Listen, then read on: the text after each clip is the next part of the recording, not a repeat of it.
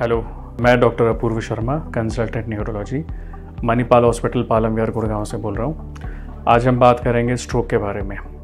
Stroke पाक्षाघात, लकवा, हम जो भी आम भाषा में इसे समझे, ये भारत में लगभग हर एक लाख में से 150 यानी डेढ़ सौ लोगों में से स्ट्रोक का इंसिडेंस पाया जाता है हर साल।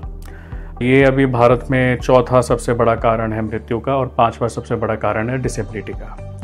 स्ट्रोक दो प्रकार के होते हैं। पहला होता है इश्केमिक स्ट्रोक या जिसमें कि हम कहते हैं ब्लड वेसल में क्लॉट या थ्रोम्बस जमा होने से आगे का ब्लड फ्लो रुक जाता है। दूसरा होता है हेमरेजिक स्ट्रोक या ब्लीडिंग वाला स्ट्रोक, जिसमें से कोई ब्लड वेसल्स रप्चर होने के कारण, खून का लीक, ब्रेन पैरनकामा में होने के कारण, इससे रैपिड प्रेशर बढ़ जाता है ब्रेन के अंदर। ये दो मुख्य प्रकार के स्ट्रोक होते हैं। इसके अलावा जो अनकॉमन कॉजेज होते हैं, वो सीवीटी या सब हेमरेज ये भी स्ट्रोक के ही प्रकार होते हैं। अगर हम 100 स्ट्रोक्स माने तो लगभग 85 परसेंट स्ट्रोक्स इश्केमिक या नस सूखने वाले क्लॉट वाले होते हैं। 15 परसेंट स्ट्रोक होता है ब्लीडिंग या हेमरेजिक स्ट्रोक अच्छा दोनों का इलाज बिल्कुल अलग है। आइडियली जल्द से जल्द अपने नज़दीक ही इमरजेंसी सेंटर जहाँ पे स्ट्रोक पूरा केयर संभव है।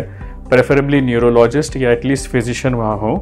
साढ़े चार घंटे में स्ट्रोक इश्केमिक स्ट्रोक की ट्रीटमेंट में नस खोलने की दवा, जिसे हम थ्रोम्बोलाइसिस भी कहते हैं, ये दी जा सकती है, जिससे कि मेराकुलस एकदम चमत्कारी रूप से रिकवरी हो जाती है।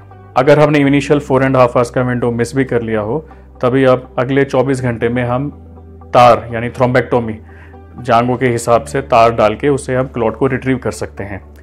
ये कुछ ही सेंटर्स में होता है, हमारा सेंटर इसमें पूरा इक्विप्ड है, और हेमरेजिक स्ट्रोक में हमारा मैनेजमेंट प्रीडोमिनेंटली ब्लड प्रेशर को कम करने के लिए किया जाता है। इससे ज़्यादा सब, कोई भी जानकारी चाहिए हो तो अपने नज़दीक में किसी भी हॉस्पिटल, न्यूरोलॉजिस्ट से मिल सकते हैं। नमस्कार।